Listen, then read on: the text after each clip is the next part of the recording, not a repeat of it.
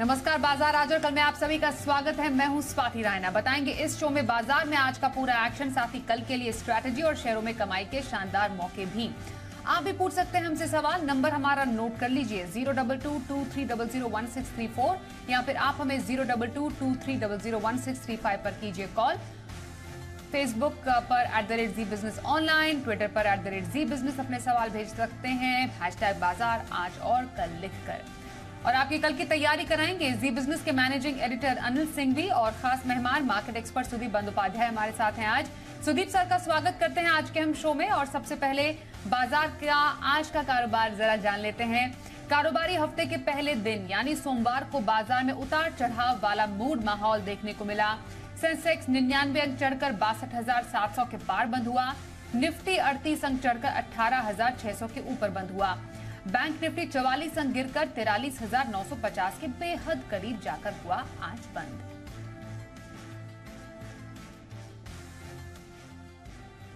और जी बिज़नेस के managing editor Anil Singhvi से समझते हैं, आज के बाज़ार में उतार चढ़ाव भरा माहौल क्यों देखने को मिला?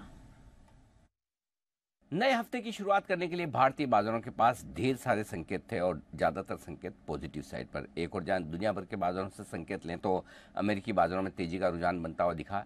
इस हफ़्ते आने वाली फेड की पॉलिसी में 70 परसेंट जानकार अमेरिका में मान रहे हैं कि इस बार ब्याज दरें नहीं बढ़ेगी और फेड ब्याज दर बढ़ाने से अपना हाथ रोकेगा। और इन सब के बीच में कच्चा तेल तेज़ी से घटकर चौहत्तर डॉलर के आसपास आता दिखा। तो तीन अच्छे संकेत आपके लिए ग्लोबल मार्केट से। हमारे अपने बाजारों के संकेत भी मजबूती के थे। मानसून की अच्छी प्रोग्रेस, बाजारों में जोश बढ़ती हुई दिख रही। कच्चा तेल का फ़ायदा हमें भी मिलता हुआ दिख रहा है। इसके अलावा तकनीक मज़बूत है और अच्छे एक्शन में आते हुए दिख रहे हैं और महँगाई के आंकड़े जो आने वाले हैं, वो भी थोड़े बेहतर रहने की उम्मीद है। लेकिन इन सब के बीच में अगर कोई नेगेटिव फैक्टर था तो वो सिर्फ़ एक की हमारे यहाँ पिछले दो तीन दिनों से एफ़ ने खरीदारी से हाथ रोका है।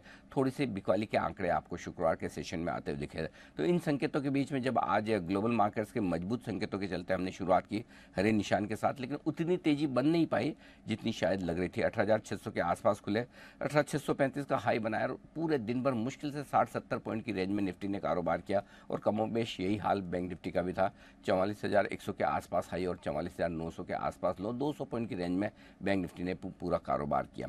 आज मेटल और कुछ और सेक्टर्स आईटी शेयरों की बदौलत निफ्टी दिन भर हरे निशान में बने रहने में कामयाब रहा। तो भारत से जुड़े हुए सेक्टर्स जिसमें बैंक आप लेकर चल सकते हैं, यहाँ पर आज प्रॉफिट बुकिंग आई और ये लगातार लाल निशान में दिखे। तो निफ्टी और बैंक निफ्टी दोनों अलग अलग डायरेक्शन में दिखे। चालीस अंक ऊपर निफ्टी, चालीस अंक नीचे बैंक निफ्टी। ये आज की क्लोजिंग रही कमोबेश लेकिन बाज़ार में जो एक्शन था, वो निफ्टी और बैंक निफ्टी के बाहर था। मिड कैप और स्मॉल कैप शेयर पौन से एक परसेंट तक की तेज़ी के साथ इंडेक्स पर बंद होते हुए दिखे जमकर एक्शन हुआ। डेढ़ दो दिनों के हल्के फुल्के करेक्शन के बाद वापस से मिड कैप शेयरों में तेज रफ्तार बनती हुई दिखी और स्टॉक स्पेसिफिक ज़बरदस्त खरीदारी होती दिखी एक और आप देखिए, जहाँ बैंक कमज़ोर थे, लेकिन एनबीएफसी शेयर फाइनेंस कंपनियों के शेयर तेज दौड़ लगाते हुए नज़र आए। सो ओवरऑल बाज़ार में रुझान तेज़ी का बना हुआ है। इंडेक्स थोड़ा सा हल्का ज़रूर है। वजह ये कि कल महँगाई के आंकड़े आने वाले हैं और अमेरिका के भी आंकड़े, हमारे यहाँ के भी आंकड़े आ जाने वाले हैं। इसके अलावा फेड की बैठक है।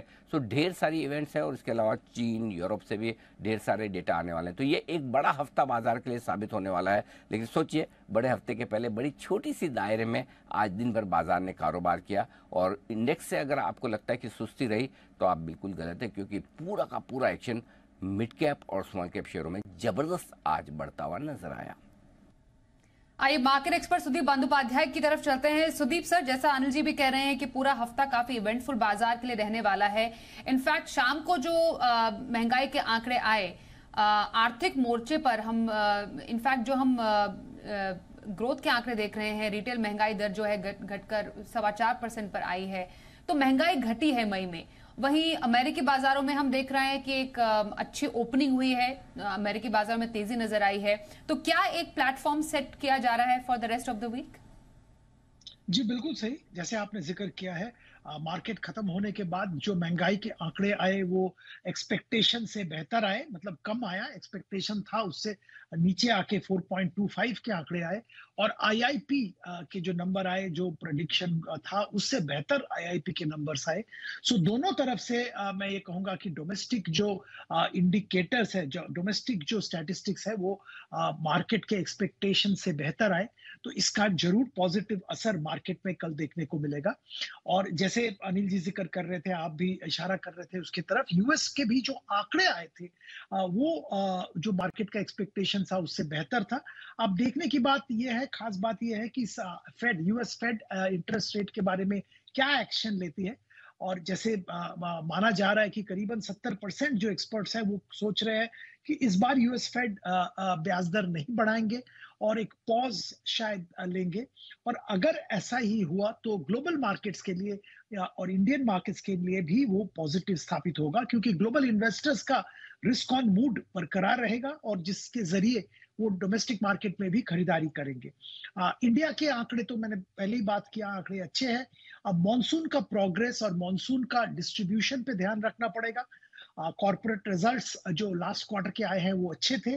सो so, अब जो अनिश्चित एक ही फैक्टर डोमेस्टिक मार्केट के लिए रहा है वो मॉनसून अगर मॉनसून ठीक ठाक हुआ तो आ, मुझे लगता है कि इंडियन मार्केट्स अच्छा मोमेंटम के साथ कामकाज करना चाहिए। सेक्टर स्पेसिफिक ज़रूर रहना पड़ेगा क्योंकि ग्लोबल मार्केट्स में अभी भी थोड़े हेडविंड्स हैं। कुछ इकोनॉमीज में ग्रोथ कम है या रिसेशन जैसा माहौल है पर ओवरऑल अगर यूएस में ब्याज दर नहीं बढ़ा और इंडिया का मानसून ठीक ठाक रहा तो इंडियन मार्केट्स अच्छा रहेगा। बिल्कुल। तो ये तो रहे कुछ मेजर इवेंट्स और आने वाले जो ट्रिगर्स है उस पर बाज़ार की चाल कैसी रह सकती है उस पर चर्चा। आइए अब कुछ दर्शकों से बातचीत करते हैं। दुर्गापुर से मिंटू नाथ हमारे साथ हैं। नमस्कार बताइए कौन से स्टॉक पर सवाल है आपका? मेरा मैडम जेएसएल पे सवाल है। जिंदल फिर से स्टॉक बताइए। जेएसएल ओके जिंदल से ओके ठीक है। क्या आ, क्या शेयर है? कितने शेयर और क्या भाव है? तीन सौ शेयर है डेढ़ सौ के भाव अच्छा और कितने लंबा व्यू है आपका? कब तक रखना चाह रहे हैं? और पाँच साल के लिए। पाँच साल के लिए जिंदल स्टेनलेस पर इनका सवाल है सुदीप सर। मुनाफा अच्छा है क्योंकि इनकी खरीद से तो डबल है फ़िलहाल स्टॉक का भाव। अच्छे लेवल्स पर एंट्री अच्छा मुनाफा भी। लंबा व्यू है बहुत ज़्यादा इस पर। क्या रहेगी आपकी स्ट्रैटेजी जी, बिल्कुल निवेशित रहना चाहिए क्योंकि इनका मतलब आइडियल लॉन्ग टर्म इन्वेस्टर मैं कह सकता हूँ, पाँच साल का नज़रिया से कोर सेक्टर के शेयर्स इन्होंने खरीदे हैं। अच्छा मुनाफा पे बैठे हैं, अभी भी रहना चाहते हैं। तो ज़रूर बने रहिए। कोई दिक्कत नहीं है। पाँच साल जो नज़रिया है, इंडिया का ग्रोथ बरकरार है और स्टेनलेस स्टील का जहाँ जो जो वहाँ पे इनका कामकाज है कंपनी का कामकाज है, वहाँ पे अच्छा मोमेंटम भी है और डिमांड भी अच्छा आएगा आने वाले दिनों में। कुछ क्वार्टर्स या कुछ महीने में या कुछ टाइम के लिए अगर दबाव भी रहा तो उसके कोई फ़र्क नहीं पड़ता क्योंकि आपका नज़रिया लंबी अवधि का है। आपको यहाँ से भी बहुत अच्छा रिटर्न मिलने की उम्मीद रहेगी।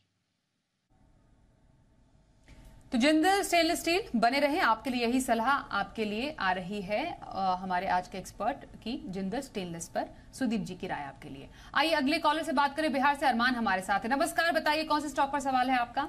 आ, जी मैम गुड इवनिंग। मेरा सवाल है कि मैजगांव डॉक का मैंने शेयर खरीदा है और एक हज़ार इकसठ रुपीज़ के भाव से सोलह सौ शेयर। तो इसका हम्म। आने वाले समय में क्या इसका रेट होगा? क्योंकि अभी तो कम चल रहा है। ये मैं हम्म। मुझे जानना है।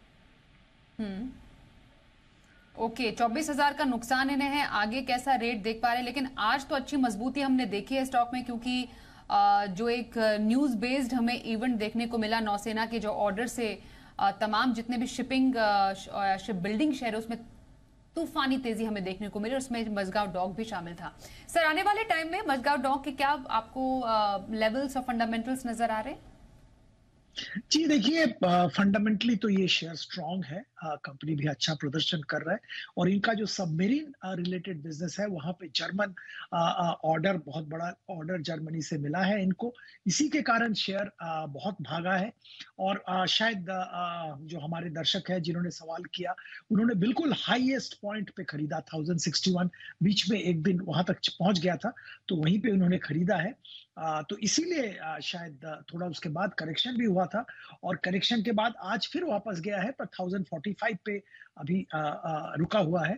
आ, हमारी सलाह तो यही होगी कि अगर आप लंबी अवधि के लिए निवेशित रहना चाहते हैं तो निवेशित ज़रूर रह सकते हैं कोई दिक्कत नहीं है पर आपका नज़रिया दो तीन साल का रखिए क्योंकि इस लेवल से आपको रिटर्न मिलना मतलब जो भी सारे न्यूज़ फ्लोज थे पॉजिटिव न्यूज़ फ्लोज ज़्यादा तक आ चुके हैं।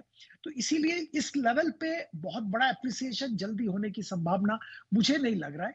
पर लंबी अवधि के लिए बहुत अच्छा स्टॉक है परफॉर्मेंस अच्छा है बैलेंस शीट स्ट्रांग है और आ, हमेशा से अच्छा परफॉर्म करते आ रहे हैं और ये जो सबमेरीन के ऑर्डर्स मिल रहे हैं, इसके ज़रिए और भी परफॉर्मेंस में इंप्रूवमेंट होगा। पर वैल्यूएशन पिकअप के लिए थोड़ा टाइम लगेगा क्योंकि आपने पीक पे शेयर खरीदा है। जी तो मजगाव डॉक अच्छे फंडामेंटल स्ट्रॉन्ग कंपनी लगती है स्टॉक लगता है सुदीप सर को बने रहने की सलाह आपके लिए। पुणे से सूरज हमारे साथ है उनसे बात करते हैं। नमस्कार बताइए कौन सा स्टॉक है आपके पास? Good evening. मेरा शेयर है एमटार टेक के। मेरे पास सौ शेयर है। सिक्सटीन सेवेंटी फोर की खरीद है। मैं जानना चाहता हूँ कि अभी इसमें कुछ मतलब लास्ट टू वीक से कुछ मूवमेंट नहीं दिख रही तो होल्ड करना चाहिए कि नहीं करना चाहिए?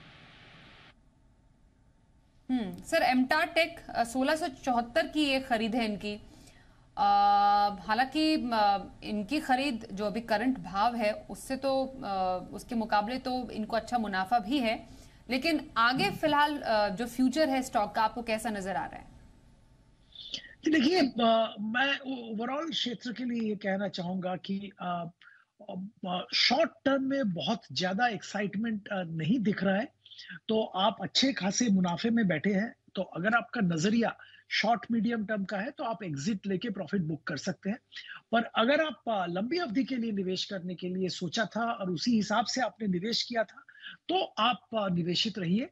पर इन दैट केस नज़रिया दो साल प्लस का रखिए, क्योंकि टेक्नोलॉजी क्षेत्र में बहुत उथल पुथल हो रहा है। जैसे आपने ज़रूर सुना है आर्टिफिशियल इंटेलिजेंस और ये जो जी चैट जीपीटी जैसे जो मशीन लर्निंग टेक्नोलॉजीज़ आ रहे हैं, उसके ज़रिए बहुत टेक्नोलॉजी क्षेत्र में बहुत चेंजेस आएँगे और उस चेंज का फ़ायदा शायद इंडियन कंपनीज़ बहुत सारी इंडियन कंपनीज़ भी लेंगे पर कौन इसमें विनर होगा कौन इसमें पीछे रह जाएगा ये आज के दिन में बताना मुश्किल है।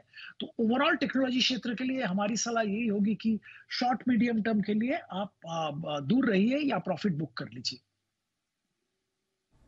ओके okay, तो शॉर्ट टू मीडियम टर्म के लिए दूर या फिर प्रॉफिट बुक करने की सलाह एमटार टेक में आपके लिए। आइए अगले कॉलर से बात करते हैं। हमारे साथ है जालना से रामेश्वर शेषराव कराट। नमस्कार बताइए कौन से स्टॉक पर सवाल है आपका? मोबाइल एक मिनट हेलो। जी सवाल पूछे सर। सर नमस्कार मैम मैं जालना से रामेश्वर खराट बात कर रहा हूँ महाराष्ट्र से। हाँ हाँ। हेलो। हाँ हाँ स्टॉक बताइए अपना। मेरा बलरामपुर चीनी है। 511 पे 200 शेयर परचेस किए मैंने। 511 नहीं एक मिनट रुकिए। 511 आपके पास शेयर क्वांटिटी है और पाँच सौ ग्यारह पीए लिए मैंने। 200 क्वांटिटी मेरे पास। अच्छा 200 क्वांटिटी है 511 आपका खरीद भाव है ठीक है। और कब तक का व्यू है आपका इस पे? कब तक रखना चाह रहे हैं? जब तक प्रॉफिट नहीं आता तब तक रखेंगे मैम अच्छा। प्रॉफिट का इंतज़ार कर रहे हैं सुदीप सर ये बलरामपुर चीनी पर। फ़िलहाल तो इक्कीस हज़ार का नुकसान है इनका। ये लेवल आपको आते हुए नज़र आ रहे हैं? 511 इनकी खरीद है। जी बहुत जल्दी तो ये लेवल नहीं आएगा मुझे लगता है। देखिए शुगर क्षेत्र में एक स्ट्रक्चरल चेंज हुआ है और इथेनॉल ब्लेंडिंग पॉलिसी सरकार की तरफ़ से जो चेंज हुआ है उसका फ़ायदा सारे इंटायर शुगर इंडस्ट्री को मिलेगा बलरामपुर चीनी को भी मिलेगा। और जैसे हम जानते हैं कि आ, आ, शुगर थोड़ा पॉलिटिकली सेंसिटिव कमोडिटी है। सामने बहुत सारे स्टेट्स में इलेक्शन आ रहा है और उसके बाद सेंट्रल इलेक्शन भी आ रहा है। तो इस माहौल में शुगर केन प्राइसेस या शुगर प्राइसेस बहुत ज़्यादा बढ़ना शायद पॉसिबल नहीं है। और इसीलिए सरकार की तरफ़ से हर तरफ़ तरह से कोशिश किया जा रहा है ताकि शुगर प्राइसेस कंट्रोल में रहे, एक लेवल में रहे। और इसीलिए जो एक्सपोर्ट कोटा है, उसको भी बहुत बारीकी से सरकार की तरफ़ से मॉनिटर किया जा रहा है। तो इस माहौल में मुझे नहीं लगता है कि बहुत बड़ा जंप इस शेयर के प्राइस में बहुत जल्द आने वाला है। तो अगला एक साल में तो मुझे ऐसा कोई बहुत पॉजिटिव इस क्षेत्र में नहीं दिख रहा है। फंडामेंटली स्ट्रॉन्ग सेक्टर है और अगर आप लॉन्ग टर्म के लिए निवेश करना चाहते हैं तो ठीक है। पर अदरवाइज़ मैं आपको यही सलाह दूँगा कि कोई अपॉर्चुनिटी देख के आप इस सेक्टर से थोड़ा एग्जिट ले लीजिए। मे बी इलेक्शन के बाद सेंट्रल इलेक्शन के बाद आप इस पे वापस ध्यान दीजिए। ओके okay, तो रही आपके स्टॉक पर आए सुदीप सर की। अगले कॉलर से बात करते हैं संजय हमारे साथ है। नमस्कार बताइए कौन से स्टॉक पर सवाल है आपका? गुड इवनिंग मैम मेरा सवाल है पॉलीप्लेक्स पे। मेरा अठारह सौ का भाव पे है। छह महीने का भी है। क्या करना चाहिए अभी मैम? छप्पन शेयर है मेरे पास अठारह सौ का भाव है। कि, कितने शेयर है? छप्पन शेयर है मैम। ओके। सर नुकसान तो काफ़ी इन्हें काफ़ी ऊँची खरीद है इनकी 1800 की बारह के आसपास तो पॉलीप्लेक्स है अभी। आ, क्या करना चाहिए ऐसे टाइम पे कि देखिए मेरी हमारी सलाह तो यही होगी कि अपॉर्चुनिटी देख के एग्जिट कर ले काउंटर से और लॉस बुक कर ले। यहाँ पे इंतज़ार करना कॉस्ट प्राइस के आसपास आने के लिए आ, कोई मतलब इंटेलिजेंट काम नहीं होगा। एग्जिट करके और किसी क्षेत्र में और किसी कंपनी में निवेश करें जहाँ पे इनको मुनाफा वसूली का अपॉर्चुनिटी मिलेगा।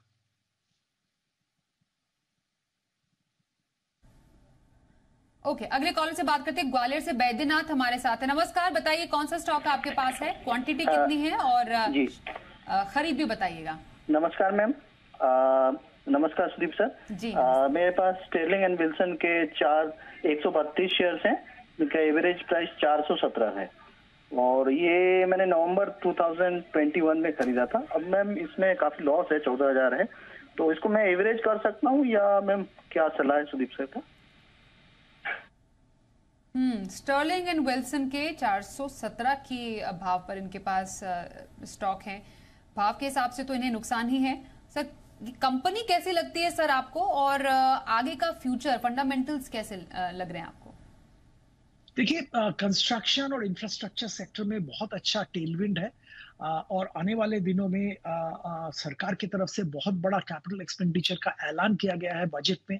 इसका बेनिफिट कंस्ट्रक्शन सेक्टर से जुड़े हुए सारे कंपनीज़ को मिलेगा। और स्टर्लिंग विल्सन दिग्गज कंपनी है क्षेत्र में।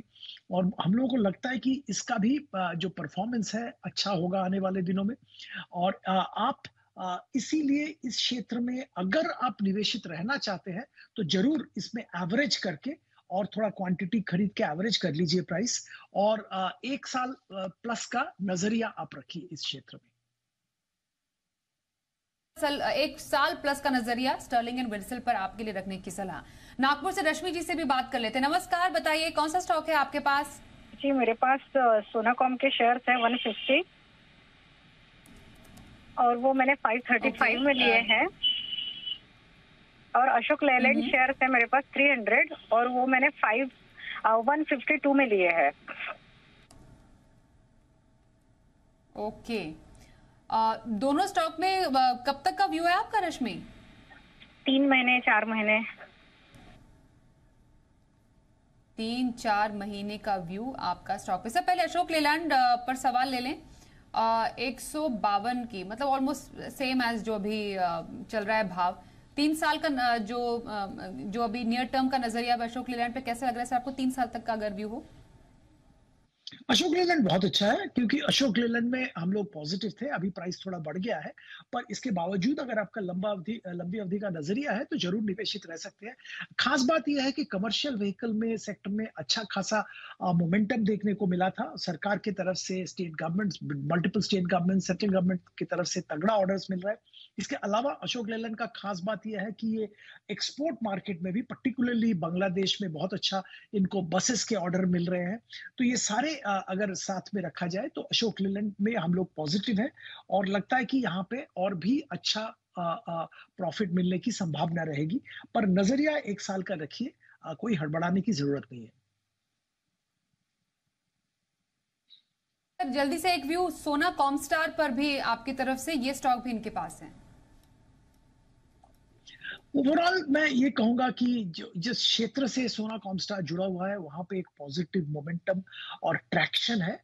और आ, आ, जो ईवी रिलेटेड जो जो जो कंफ्यूजन जो इश्यूज़ है वो ऑटोमोबाइल मैन्युफैक्चरर्स पे है पर जो एंसिलरी कंपनीज़ है वहाँ पे आ, ये ये सब दिक्कतें नहीं है। और आ, इसी क्षेत्र में सोना बी काम करते हैं। तो हमारे जो फेवरेट ऑटो एंसिलरी कंपनीज़ है उनमें से सोना बीएलडब्ल्यू है। और यहाँ पे ज़रूर निवेशित रहिए। चाहिए तो आप क्वांटिटी बढ़ा सकते हैं। कल के बाज़ार पर क्या रखे खास स्ट्रैटेजी बाज़ार के लिए अहम संकेत समझते हैं अनिल जी से।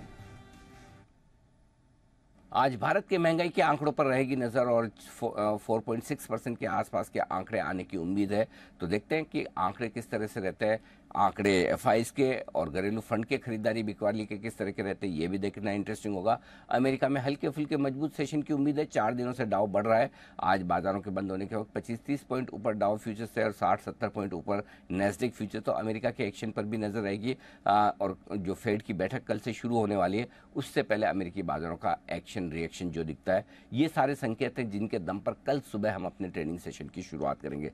सपोर्ट रेंज बेहद साफ़ है अठारह हज़ार चार सौ पैंसठ 18,535 ये बाज़ार के लिए मज़बूत सपोर्ट का लेवल है 70 पॉइंट की रेंज और ऊपरी स्तरों पर 18,640 18,725 वो रेंज है जिसके पार जाने में हो रही है मुश्किल। बैंक निफ्टी का जहाँ तक सवाल है कल के लिए तयालीस हज़ार छह सौ पचहत्तर तयालीस हज़ार आठ सौ पच्चीस। ये मज़बूत सपोर्ट का काम करेगा और ऊपरी स्तरों पर तयालीस एक सौ पचहत्तर से तयालीस तीन सौ पचहत्तर की वो रेंज है जिसके पार जाना बैंक निफ्टी के लिए होगा मुश्किल। तो इंडेक्स में क्लियर कट ट्रेड देखते हैं ग्लोबल संकेतों के दम पर बनेगा, लेकिन हमारे अपने संकेतों के दम पर मिड कैप और स्मॉल कैप शेयरों में जो बढ़िया एक्शन बना हुआ है, वो एक्शन कल भी आप आगे बढ़ने की उम्मीद कर सकते हैं। ढेर सारी खबरें आने वाली भी है और आने की तैयारी में भी है पूरे हफ़्ते और इनके दम पर बाज़ार थोड़ा बड़ा मुँह दिखाने के लिए तैयार हो सकते हैं।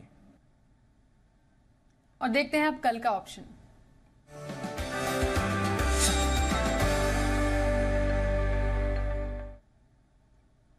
मोतीलाल ओसवाल के चंदन तापड़िया का करते हैं स्वागत। आ, स्वागत है चंदन जी कल के बाज़ार में ऑप्शन की स्ट्रैटेजी कहा?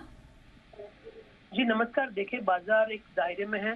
बट अच्छी बात यह है कि उसके बावजूद भी थोड़े से डिक्लाइन से वो खरीदारी में तब्दील हो रहे हैं। मेजर ट्रेंड इंटेक्ट है और सिलेक्टिव स्टॉक स्पेसिफिक एक्शन बाज़ार में देखने को मिल रहा है। तो यहाँ पे पावर कंपनी में पॉजिटिव व्यू रहेगा। आर लिमिटेड एक स्ट्रॉन्ग सेटअप है। आर पीएफसी ये सब अच्छा मुँह दिखा रहे हैं। तो आर लिमिटेड पे खरीदारी की सलाह रखेंगे। इसका 155 का कॉल है, जो चार रुपए के आसपास बंद हुआ है।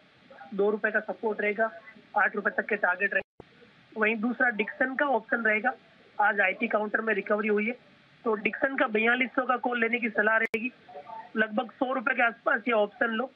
सत्तर रुपए का सपोर्ट रहेगा। ऊपर में लगभग एक सौ पचास से एक सौ साठ रुपए तक के टारगेट रहेंगे। तो एक कंपनी रहेगी पावर से आरईसी और दूसरा आईटी आईटी से रहेगा डिक्सन जी, धन्यवाद करेंगे चंदन जी कल के ऑप्शन स्ट्रैटेजी के लिए और सुदीप सर लॉन्ग टर्म की स्ट्रैटेजी के कॉल्स आपकी तरफ़ से।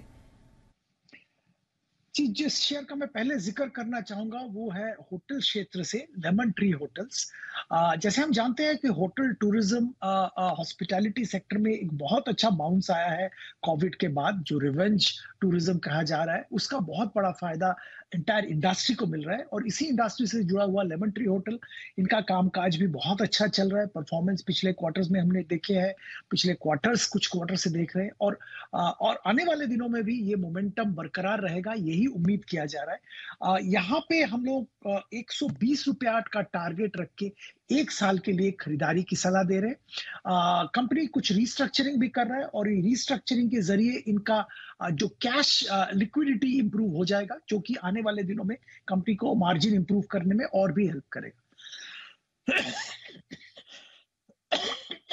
दूसरा कंपनी जिसका मैं ज़िक्र करना चाहूँगा एपीएल अपोलो ट्यूब्स इसमें भी बहुत अच्छा मोमेंटम देखने को मिला है और यहाँ पे खास बात यह है कि स्ट्रक्चर पाइप्स जो कि कंपनी मैन्युफैक्चर करता है, यहाँ पे एक रेवोल्यूशन जैसा हो रहा है और सरकार की तरफ़ से, सारे अथॉरिटीज के तरफ़ से इसी को स्ट्रक्चर ट्यूब का इस्तेमाल को प्रेफरेंस दिया जा रहा है।